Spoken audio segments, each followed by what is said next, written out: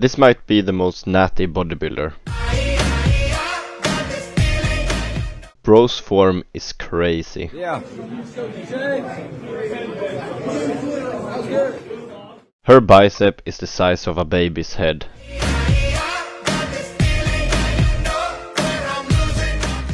This is the most normal workout in Chicago. With a ramble, ring, ring, ring, that's life in a bando. My trap full of dance like tango. The YGs don't get no reason. Guys, comment who you think is lifting the most weight.